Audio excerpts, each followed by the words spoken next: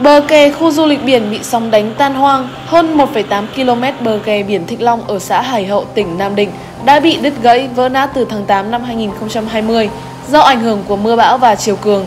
Hơn 100 hộ kinh doanh kiosk bị ảnh hưởng nặng nề, phải đóng cửa, bỏ hoang hoàn toàn do không có khách du lịch.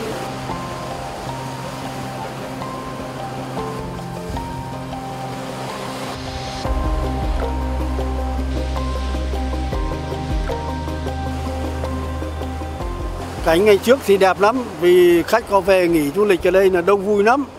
Nhưng bây giờ không có khách tan hoang cái này. Thiên nhiên nó thay đổi. Bây giờ nó vồ vập ừ, sóng lớn vào đây nó làm nở.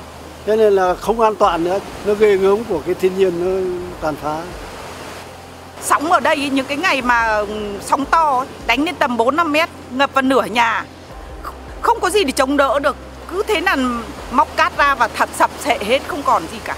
Người dân ở đây là thuê 20 năm nhưng mà ảnh hưởng mấy năm nay là nghỉ không bán được. Khung cảnh ở đây buồn, chán, à, bãi biển thì tan hoang, khách cứ về xong lại đi mất.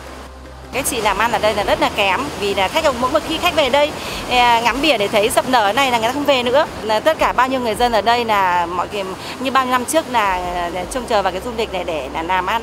Bây giờ rất là nhiều người thất nghiệp. Được biết chính quyền nhiều lần khắc phục nhưng tình trạng vỡ bờ kè ngày càng nghiêm trọng.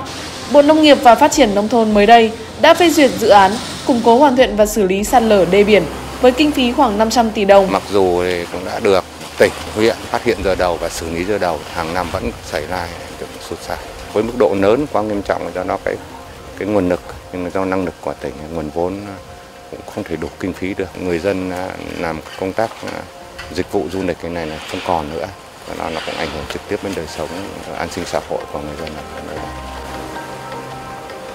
Bãi biển Thịnh Long trước đây từng thu hút hàng vạn du khách tham quan mỗi năm, nhưng hiện nay hoàn toàn vắng bóng khách du lịch.